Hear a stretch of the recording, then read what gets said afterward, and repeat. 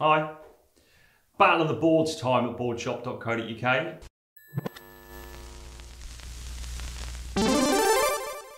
Two crackers today. Um, the twin pin from Channel Islands, which isn't going to win, and the Cobra Killer from Lost Paul Lefevre collaboration, um, which is an absolute cracker.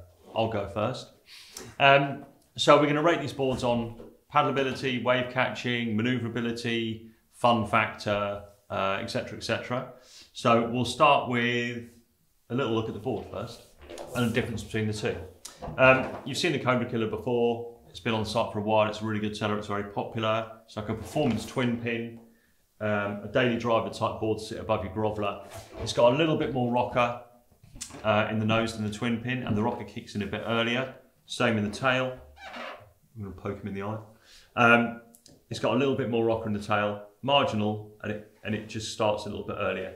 And the rails firm up a little bit earlier on the Cobra Killer than they do on the twin pin. And then, of course, there's this luscious double concave through the fins, which gives you all that speed and drive and hold.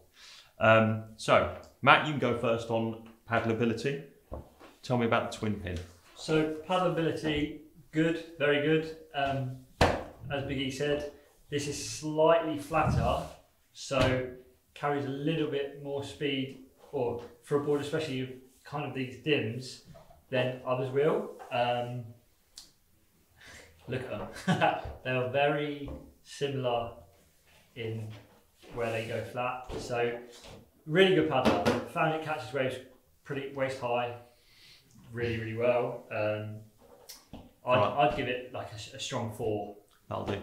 Um, the Cobra Killer is a you know a slightly better wave board. It's not gonna it's not gonna do uh, just itself justice paddling in waist height onshore uh, rubbish waves. It needs a bit of shape. It needs a bit of push. But in the right conditions, with that bit of push behind you, it paddles in just fine. Um, it's not over rockered from a paddling point of view. So wave catching ability, good. Paddleability, good. You've got to use it in the right conditions. The twin pin, as Matt said, is very slightly flatter in its template. The rocker comes in a bit later. Um, in marginal conditions, the twin pin probably edges it. In better conditions, the Cobra Killer does. So, manoeuvrability. Yeah, I was going to say, you, you want to be using them in decent waves, don't you? Mm. Uh, manoeuvrability, I think I, um, like you'll probably get onto it as well.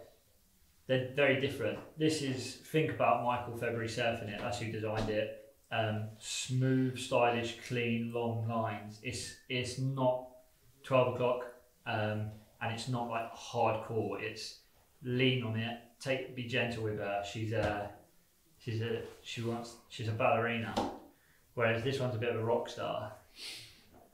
The Cobra Killer's got that relatively straight rail, rail line. Um, and it, with that double concave, it's got so much hold and drive and speed. It's a beast. Um, what that does mean is not it's not like hard to turn like an old retro fish, which is really heavy through the tail, but it doesn't release quite as easily as the twin pin. It's not so carvy. It needs a bit more work to get it turning, um, but when it does, it turns hard and fast. But again, it needs relatively lined up, relatively clean conditions.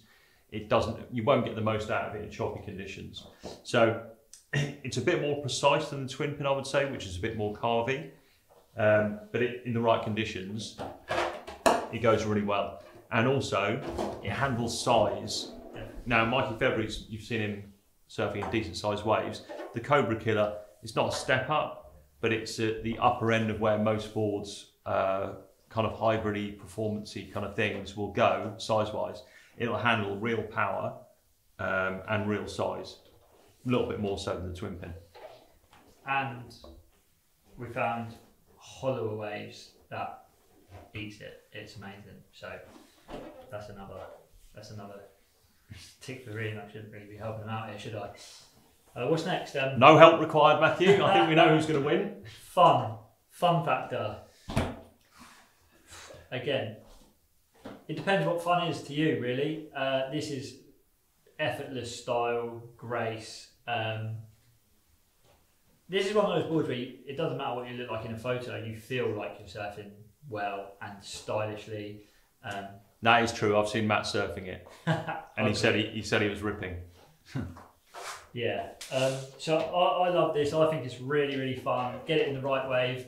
If you get the chance to get this in a point break that's kind of shoulder high, nice like mid upright twin pin setup. Don't go too too much of a pin. Um, you're gonna you're gonna love it. You you won't set anything else. Your thruster will be redundant.